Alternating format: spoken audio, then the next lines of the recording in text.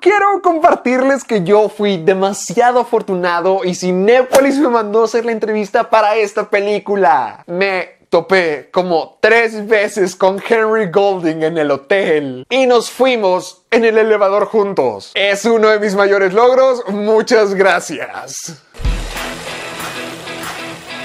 Queridos amigos, mi nombre es Héctor Portillo de Caja de Películas. Y en esta ocasión vamos a hablar de Last Christmas. Otra oportunidad para amar. Traducciones. Y esta es la historia de Kate. Una mujer que no ha tenido el mejor momento últimamente.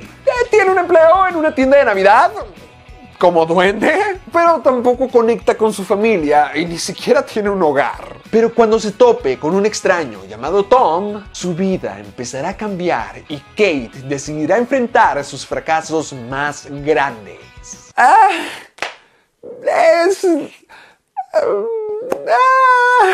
es linda y celebra el espíritu de la Navidad bastante bien. ¿Quieres una película que sea encantadora la mayoría del tiempo? Que es cursi en un buen sentido. Si quieres bañarte en el espíritu navideño, querido amigo, adelante. Esta película podría ser alguna buena renta para verla en la casa en las épocas de Navidad. O un chocolate caliente, una manta y verla con la gente que amas. La verdad es que la película está diseñada para que te sientas bien y es bastante exitosa en ello. Emma Thompson hizo cosas muy buenas. Por ejemplo, ella misma es grandiosa actuando y la relación que tiene con Kate se me hizo que era la trama eh, principal.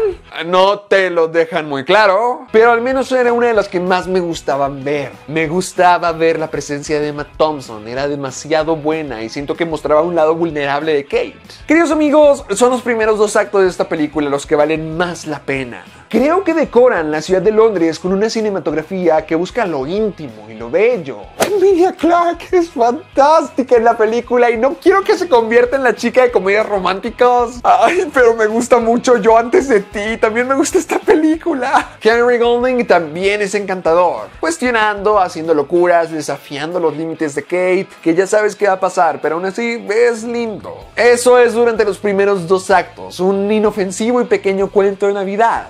Y en realidad, la comedia es buena. Hay momentos donde sí me reí. No siempre, pero sí los hay. Es una película que mientras más lo pienso, sí me están dando ganas de volver a ver. Es como para pasársela bien un rato en familia, en Navidad con Emilia Clarke. El problema de todo lo demás, eh, sí, es un poco grande. Parecen antología con tantas historias que le dan a Kate. No sabes si su relación con Tom es la historia principal que la película quiere contar, o si la historia que Kate tiene con su mamá, o si la historia de Kate y cómo falló en la vida y cómo trata de reencontrarse. Sé que es de todo eso y que la película es de una mujer que no ha tenido sus mejores momentos, pero saltan de trama en trama que la mayoría se quedan olvidadas durante un buen tiempo. Por la forma en que promocionan esta película y por lo que te quieren contar, uno pensaría que Tom aparecería de manera más natural, pero realmente tienen citas de una muy esporádica y muy al azar. Hasta a veces sientes que Tom está medio de sobra en el crecimiento de Kate. Ese es el problema de la película, tiene una enorme falta de enfoque. Hay tramas como lo de la hermana saliendo del closet que siento que está de más. Porque es parte solamente hasta el tercer acto, cuando la película ya no se trata de eso. Cuando sí hubo un guiño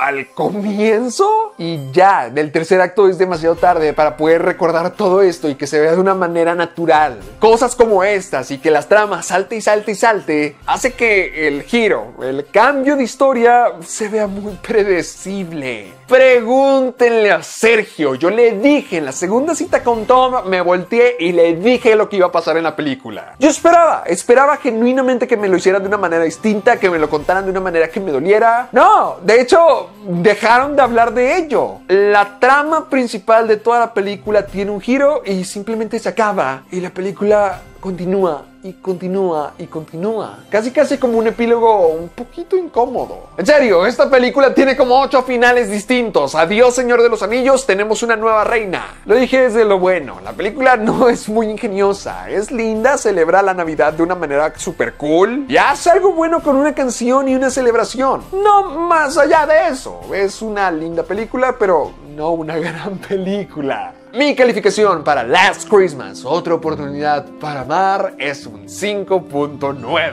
Pero bueno, esa es mi opinión y ahora es tu turno. Quiero que abajo en los comentarios me dejes saber qué opinas con respecto a esta película. Y además, ¿cuál es tu recomendación para ver durante Navidad? Como siempre puedes encontrar todos los links para mis redes sociales abajo en la descripción. Y muchísimas gracias por ver este video y esperen muchísimos más.